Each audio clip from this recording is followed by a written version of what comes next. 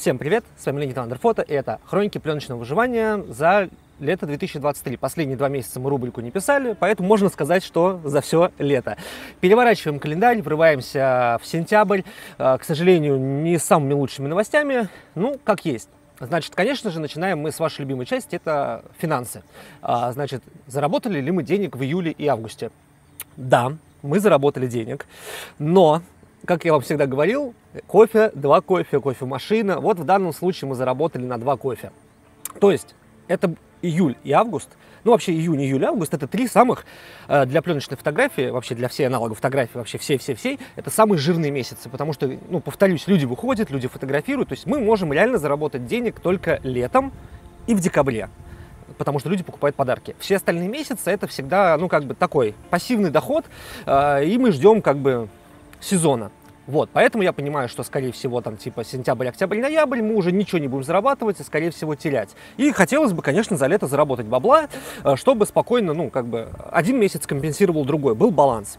Так вот, э, баланс, э, по итогам 8 месяцев баланс 0. То есть, действительно, у нас январь, февраль, март, апрель, там, май минус, июнь или август плюс. Но настолько маленький плюс, что по итогам года мы не в плюсе. Мы как бы по итогам года в нуле. Это, конечно, очень неприятно. А, мотивирует ли это работать дальше? Ну, конечно, а, все еще не, не все еще потеряно.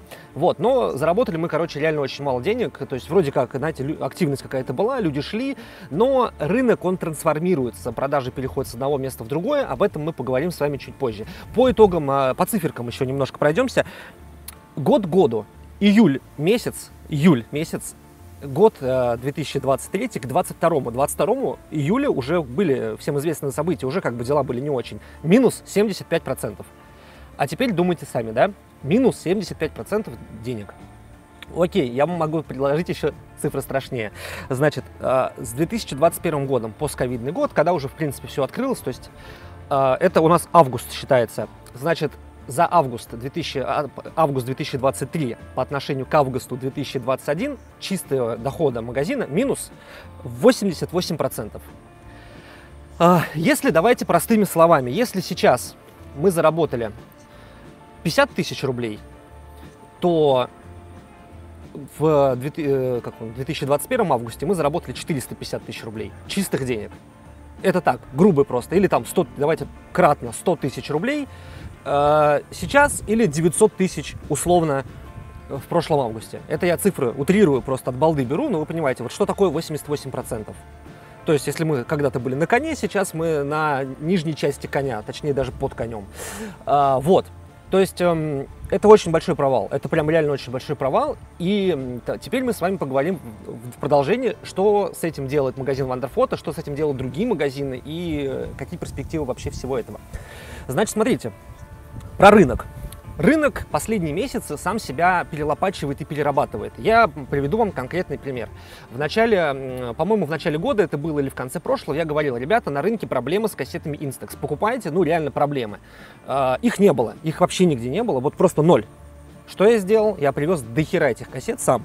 И мы купили их там какому-то странному курсу, а, мы купили их оптом, нам а, за то, что у оптовиков нет скидок на доставку, как у людей, которые барыжат с Алиэкспресс. Мы покупаем оптом, у нас есть доставка, которая идет за эти коробки огромные, у нас есть какие-то таможни. Даже если, даже если представить, что мы везем серую, вот представьте, все равно же мы кому-то платим.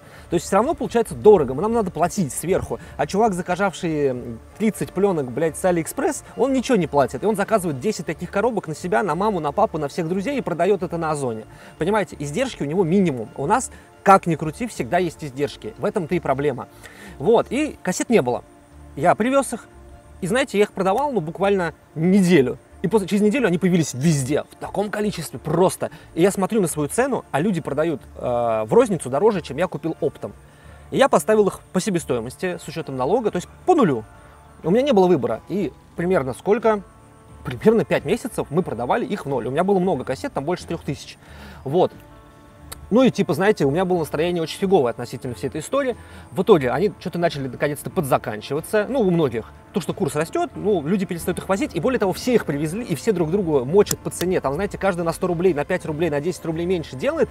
Ну, то есть мочилово такое ценовое. Конечно, все садятся на жопу с этой историей, все хотят их скинуть поскорее и больше никогда не возить. Все хотят. И начинается вот эта фигня, и они подзаканчиваются, я их продаю последние, э, даже, по-моему, с плюсом рублей 100, и они заканчиваются у меня тоже. И я думаю, м-м, а что сделать? Ну, наверное, надо купить, чтобы хотя бы в магазине были. Я смотрю, на рынке их нету. И я вот теперь думаю, вот смотрите, я их сейчас привезу, и привезет их, опять же, дохерища людей вот точно так же. То есть раз в год есть такой, да, пустой карман, когда можно условно заработать денег. Но понимаете, какие-то поставщики сели на жопу в этой истории, а какие-то только увидели возможность э, побарыжить, да, этим там с, Ави, с Алиэкспресс или еще откуда они возят. Э, вот. И это не заканчивается. И сейчас, опять же, вот прошел полтора месяца, на рынке опять дохера этих кассет, опять началась ценовая борьба. Я их уже не буду возить. Я купил вот чисто, вот чисто для магазина, сколько мне нужно, и все. Такая же история со среднеформатной пленкой. Я много раз вам говорил в видео, что со среднеформатной пленкой у нас проблемы. Ее никто не покупает, она просрочилась, ее скидывают за дешман. И сейчас ее просто на рынке нет. Никто не хочет ей заниматься. Найдите на рынке нормальную цветную пленку, там Портру 400, Портру 800, Портру 160. Да хер вы ее найдете, там у она есть, а если есть, цена космическая. Никто не стал ее закупать в прок, потому что все на этом как бы, ну, на Е. А в среднем, в среднем формате проблема еще в том, что люди, которые снимают на средний формат, они по большей части хитрожопые. Они сделают все, что угодно, лишь бы не купить у вас пленку, а купить ее где-то на 50-100 рублей дешевле. Они будут ждать 2-3 месяца с Китая, 2-3 месяца с Европы, будут ждать, пока их знакомый куда-то поедет и что-то заберет, лишь бы не переплатить. И закончилось тем, что пленки просто нету. Увы.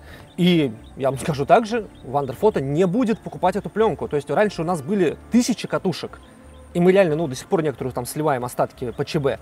Сейчас цветной портер я привезу 10 катушек. Купили, привезу вам еще 10. То есть 2-3 месяца будете ждать, привезу так. То есть сейчас происходит вот трансформация а, всех а, процессов, особенно по наличию и актуальности товара. То есть, ну, не нужны рынку какие-то вещи, не нужны. А раньше как бы они были популярны. И вот сейчас мы пытаемся понять, что именно не нужно. В этом-то и суть. А, также, да, что не нужно. А, то есть мы в Андерфото понимаем, что есть какие-то камеры пленочные, на которые цены вот так вот взлетели. Кстати, почему? Да, опять же, про, про пленочный рынок поговорим. Раньше люди везли камеры от, откуда только можно. Там с eBay постоянно привозили, еще откуда. Ну, то есть большие, с Китая, с Японии брали контейнеры и привозили. То есть не было проблем с камерами. Их можно было привезти в любом количестве, вот всяким там барыгам и перепродать на Авито. Следовательно, рынок наполнялся пленочными камерами. Понятно, что не забывайте, что камеры еще ломаются. И вот сейчас пленочный рынок, он замкнут в своей экосистеме. Камер больше не становится, а они ломаются, их становится меньше. То есть у нас меньше пленочных камер на рынке. Более того, каждый пытается заработать, урвать свой кусок, то есть купить там что-то, перехватить на Авито уже не получается. Всегда есть какой-нибудь магазин типа Unitcam, продающий в 10 раз дороже, люди смотрят на него, Unitcam перекупает у всех, кого там только можно, и получается, что цена очень сильно растет даже на камеры, на которые я бы лично никогда не продал бы даже за такие деньги. То есть, например, есть магазины на Авито, перепродающие мыльницы, там, допустим, 8 тысяч рублей за какой-нибудь там Olympus Trip 505. Да вы что? Ну, всю жизнь, всю жизнь мы продавали его в Андерфото за 4 тысячи. Всю жизнь. Сейчас он в рознице э, у любого человека физического стоит 4 минимум. А как бы, и мы сейчас сами его продаем, по-моему, за 6. И то у нас их, по-моему, даже нет наличия. Ну, то есть цены выросли, ну, в 30, 40, 50 процентов минимум. На, почти на все камеры. И мы такие думаем, а нахера нам это продавать? Ну, во-первых, рано или поздно, если мы купим по закупочной цене за такие деньги, мы сами перегорим и сгорим. Ну, нам это нахрен не надо. Ну, мы не хотим рисковать. Во-вторых, мы не готовы людям продавать такое говно за такие деньги. Как, как бы многие не говорили, что Андерфото там что-то продает в три дорого, мы продаем что-то, что пользуется спросом и где у нас хватает совести. Вот в данный момент э, уже каких-то камер есть предел ценовой совести, и мы не готовы продавать это за такие деньги. Ну, блядь, ну нам это просто уже не, не интересно, как мы потом будем говорить, смотрите, у вас получилось такое говно на фотографии, то, что вы купили говнокамеру. Или человек скажет, да я же заплатил вам 10 тысяч за нее. Да, ну, как бы рынок диктует условия, не мы главные на рынке, да, мы просто один из, э, одна из шестереночек цепи. Вот, поэтому Wonderfot как бы переделывает процессы, то есть мы убираем товары, которые мы не готовы больше продавать, добавляем то, что мы готовы продавать, и, конечно же, не забываем про маркетплейсы, которые уничтожают э, весь российский офлайн, не только в Андерфото, во всех фотолабораториях. То есть вся пленка покупается сейчас процентов, наверное, 50, чтобы не соврать. Я точно, конечно, не знаю статистики, но это моя личная прикидка. 50% пленки продается на маркетплейсах. Вот, следовательно, 50% продаж по пленке потерял э, каждый фотомагазин и каждая фотолаборатория. А теперь думайте сами, это 50%, это достаточно нехерово. Вот, я вижу по своей статистике, у меня минус 50% по пленке. Вот. Да, в антрофото была пленка всегда, вы скажете, дороже, но это не мешало ей продаваться. Это уже другой вопрос, да, как мы ее продавали, кому мы ее продавали и так далее. Э, это совершенно разные вещи. Вот, то есть статистика, да, дело такое. Вот, поэтому по пленке, конечно, тоже и все фотомагазины будут сейчас думать, ну, а зачем нам возить? Пусть возят барыги на Озон, а мы будем типа искать какие-то другие обходные ходы, либо распродаваться и закрываться. Конечно же, а, вы скажете, что я еще год назад, даже полтора, предсказывал, что уже, наверное, к декабрю кто-то закроется, потом я переделал прогноз. Да я на самом деле уже не могу их давать, я не понимаю, что происходит. А, то есть все типа работают, все типа работают на грани, в нуле, в минусе, но что-то как-то работают, да, и что будет, я не понимаю. Ну, по логике вещей, конечно, с такими доходами надо закрываться по-хорошему. Э, многим. И я не понимаю, что кого держит. Вот. Это мое субъективное мнение. Давайте, как обычно, по вопросам, которых я очень много у вас собрал, чтобы наша рубрика была долгой и счастливой. Э, вопрос, который мне, кстати, пришел в личку, его нет в списке в Телеграме. Вопросы всегда мы собираем в Телеграме. Если что, заходите, подписывайтесь на канал. Там очень много всего интересного. Интереснее, чем в Инстаграме намного. И на Ютубе там прям реально много всего я пишу. Ну, не всегда интересно. Иногда люди сразу после этого отписываются, но пишу. Вот. Вопрос был такой, когда откроются мои проекты за границей. Как помните, я, у меня есть второй YouTube-канал на английском. Он привязан к магазину на английском, который все еще уже полтора года в процессе создания. А, в процессе ребята, если вы думаете, что типа я ничего не делаю, это зря. Вот, все в процессе, это не от меня, очень многие вещи не всегда от меня зависят, а особенно с учетом того, что, например, я лично не могу попасть в Европу, где я хочу делать магазин, вот, эм, потому что у меня банально нет визы и нет рабочей визы, ничего такого нет, поэтому я вот здесь нахожусь, где зеленая травка, вот. А, в общем, проблема в том, что да, все работает, и даже в других странах, где я нахожусь, я всегда что-то делаю. Вот. Опять же, очень многие из этих вещей можете прочитать в нашем телеграм-канале. Вот, не переживайте. Значит, поехали. Закончится ли пленка известных брендов за 8 лет? Слушайте, очень странный диапазон 8 лет. Ну, смотрите, ее же сейчас производят. Значит, э, она годна до 2025, условно. А, плюс у нас еще, блин, если посмотреть по рынку, у нас просрочки обычно запас там лет на, на 5. Ну, то есть я думаю, что больше 8 лет. Ну, 10 лет точно, если вот сегодня все, все вообще все закроют производство, 10 лет, э, это минимум. Да все равно найдется кто-то, кто что-то делает. Да, давайте не забывать про нашу кинонамотку любимую, которые будут еще крутить и крутить ее еще до жопы на рынке. Э, есть еще куча просроченные намотки, которые постоянно всплывают на рынке в каких-то невероятных объемах, поэтому я вообще не, не переживаю за будущее пленки. Что надо сделать, чтобы ситуация с пленкой стабилизировалась? Что вообще в мире с пленкой происходит? А, слушайте, ситуация в мире и ситуация в России по, по аналогам фотографий совершенно разные ситуации. Я вижу, что в мире, а, скажем так, сейчас там есть такая небольшая изюминка финансового кризиса, очень сильно надвигающегося, но количество энтузиастов, которые производят какие-то новые продукты, производят новые пленки, особенно в Азии, ну, как производят, там, перепаковывают, перерезывают, накладывают эффекты, что-то делают, короче, постоянно с пленкой, а, какие-то кикстартер-проекты, где-то что-то изобретается, какие-то пленочные камеры, что-то мутятся постоянно. То есть я вижу, что, ну, есть движение, есть спрос, есть движение, и чем меньше на рынке будет становиться камер, тем больше будет такого движения, потому что люди будут считать рентабельность и думать, ага, мы сейчас произведем камеру, и ее, она будет у нас стоимость, в себестоимости тысячу там баксов, ее будут покупать. Потому что камер, ну, как бы уже их нет на рынке. Или там они производят вот кодек Эктар, кодек выпустил э, Эктар H35N со стеклянной линзой. Выпустил неделю назад. Еще даже нигде ее нету в наличии, кроме Кореи, кстати. А, вот. Стеклянная, наконец-то появилась э, камера со стеклянной линзой. Ну, норм, я не знаю, насколько она нормальная, мне надо ее потестить, но какой-то, знаете, прогресс, он потихоньку идет в мире. В России, продолжаю упорно повторять, все будет плохо. А, и Кандай интервью с Ноланом. Понятия не имею, не знаю, что ответить. Самый главный вопрос выпуска пленки. Тасме, по моему мнению, осталось пару лет, так как она и выпускает немного пленки, что скоро ей будет неприбыльно. А, ребята, Тасма работает на госзаказах вообще по другой структуре. Они делают для нефтяных труб, я так понимаю, а, пленку, чтобы делать...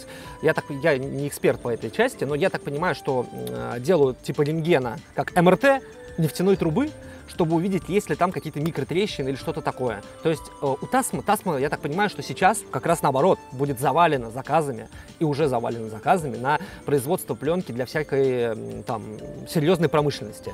И как раз вот просто, просто сегмент э, пленочной фотографии им не интересен, это копейки. Вот в чем прикол. Понимаете, да? Разные приоритеты. Тасма как раз все будет хорошо, мне так кажется. Просто м- проблема будет в другом. Наша фотография им не нужна и не интересна. Вот. А, далее. В интервью с основателем среды говорили о такой теме, как популяризация и воспитание новой аудитории пленки. А кто еще этим занимается в РФ? А, в этом же интервью, если вы не видели, посмотрите, очень интересно. А, очень многие мои партнеры сказали, что реально крутое интервью. Не забываем, что меня смотрят владельцы всех фотолабораторий и очень часто копируют то, что я говорю. Потом вот такое вот бывает, да. Значит, смотрите, а, сейчас этим занимается, как и сказано было в видео, перспектива. Перспектива занимается больше всех, наверное, действительно, должен это признать. Э, первое место. Блять, а кто еще? Кто еще делает много воркшопов там или что-то такого? Блять, да никто нахер.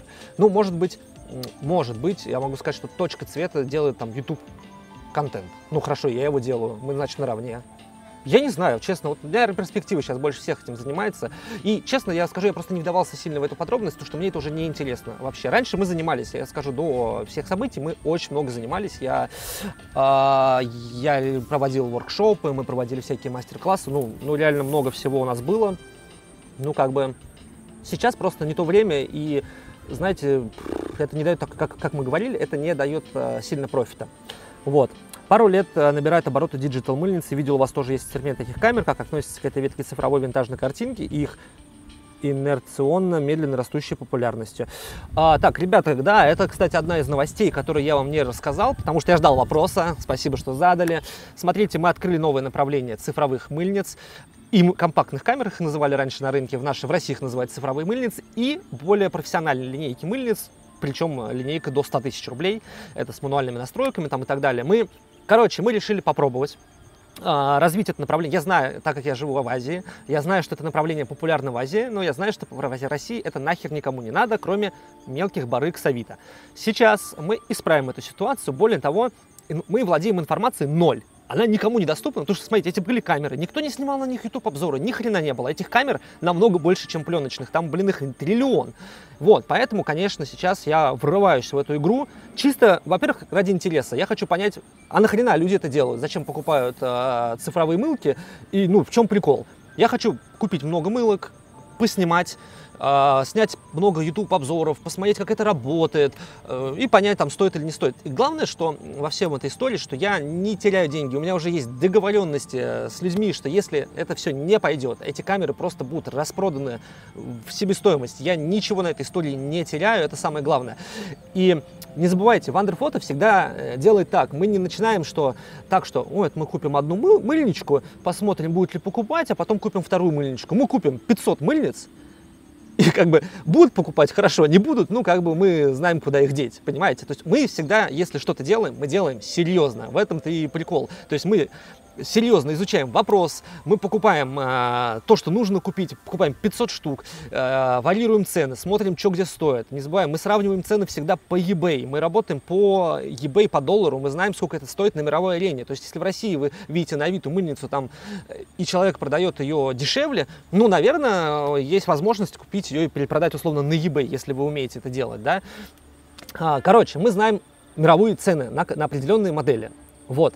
А, исходя из этого, мы покупаем только, только то, что если человек это у нас купит, он не, э, завтра не продаст ее за ноль. Вот в чем суть. Как делают очень многие магазины э, на Авито, там продают мыльницу, она ничего не стоит. То есть они купили за 500, продали за 5, а мыльница стоит 500. А вот мы как раз купили, даже если за 500, продали за 10, но она стоит 10. В этом суть. Ну хорошо, 9 все-таки нам надо заработать. А, вот в чем суть.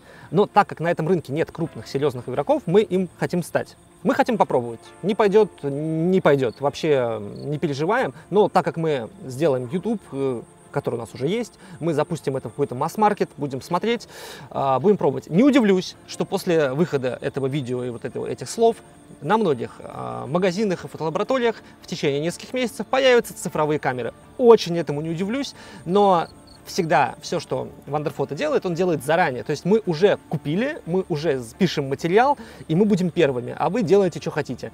Вот. А, плюс профессиональная, профессиональная линейка. Смотрите, это камеры, ну что-то типа там Pentax Q, а, лейки, кстати, C-Lux, D-Lux мы покупаем. А, мы покупаем, что у нас еще есть, Pentax LX. Короче, такие интересные модели, которые не в таком супер масс-маркете, которые очень точечно у нас покупаются, очень точечно, и мы знаем, что они очень крутые. Я смотрю тоже иностранные обзоры, я смотрю сравнения, читаю всякие там э, материалы. То есть я покупаю только то, что реально интересно, и это будет, конечно, интересно и людям, потому что они получат э, прикольные камеры. Вот. А, причем ценовой разброс, чтобы вы понимали, от 15 тысяч. То есть вы, ты хочешь камеру, который и снимает нормальное видео, ты можешь даже в YouTube писать на нее с мануальными настройками и так далее, и это будет цифра, и это будет стоить пятнаха, да вообще там, или 20, да нормально. Вот, поверьте, мне сейчас новая стоит, любая новая камера стоит дороже, а любая новая не всегда лучше старой. Мы это все знаем. Вот мы это видео пишем на GH5, чтобы вы понимали, который уже, по-моему, сколько ей уже лет? 5. То есть, э, и она все еще классная и в тренде, ни за что ее не продам. Нет, конечно, продам, если предложат хорошую цену, но не сейчас. А, вот, в общем, мы работаем. Надеюсь, что вам тоже зайдет наше новое направление, потому что мы пробуем, где в одном месте денег теряем, в другом зарабатываем. Мы, мы пробуем, по крайней мере, мы что-то делаем. Вот. А, а когда интервью с основателем КАФ? Когда-нибудь все видео выходят по порядку, видео записано, смонтировано, а, все выходит по порядку. Ну, у меня, чтобы вы понимали, есть видео, которые лежат год уже записаны, смонтированы год назад, я их просто не выкладываю. Конечно, интервью с э, Кафом интереснее, оно выйдет вперед, но в каком-то порядке определенном. А, э, я с ним встретился позже, чем встретился с а, Горный Лаб. Поэтому, скорее всего, Горный Лаб выйдет вперед. Ну, по, по хронологии, ребята. Вот. А будет ли, на ваш взгляд, какое-то развитие слайдовой пленки? Нет, не, пока не, не могу ничего сказать. Скорее нет, чем да честно, вообще не, не имеет, э, не имею мнения своего вот по этому поводу, не вдавался. Может поздно уже, но задам такой вопрос. Почему мыльницы зачастую стоят дороже автофокусных зеркалок с большим функционалом, с множеством смены оптики, даже дороже аналогичных механических камер? Мыльницы стоят дороже автофокусных. Ну, смотрите, а, люди не... Почему мы носим маленький мобильный телефон? Потому что он помещается в карман, да? А можно напичкать в какой-нибудь вот в iPhone можно напичкать камеру профессиональную, как отлейки, там, я не знаю, какой-нибудь, но этот телефон будет, блядь, вот такой. Захотите ли вы его носить? Конечно же нет. В этом-то и суть. Чем, ну, как бы, размер, э, компактность, удобство. Открыл, нажал кнопку, вот что важно в мыльницах. Не важно, что они э, там имеют какой-то функционал определенный. Важно, чтобы они делали свою работу. Их работа быстро снять. Поэтому ну, в коллекции настоящего фотографа пленочного. Должно быть несколько камер, должна быть и мыльница, и механика, там, и средний формат под разные задачи. Идешь, я повторюсь, наверное, где-то это уже было, идешь ты в гору, ты не потащишь в гору средний формат, ты, блин, сдохнешь, дойдя до горы еще и без, без этой камеры, а с камерой ты точно сдохнешь. Вот, поэтому ты берешь маленькую мыльницу. Там еду я, на скутере здесь езжу, я еду на скутере, я не, ну как я могу ехать со средним форматом? У меня в бардачке лежит мыльница. Я еду, я вижу что-то, я такой вот так вот по бардачку ударяю, он открывается, то есть я аккуратно, быстренько одной рукой достаю, еще рискую жизнью, Раз, щелкнул, положил, поехал дальше. Никаких настроек делать не надо, не надо думать. Ну, нет у меня возможности, тем более, когда я еду.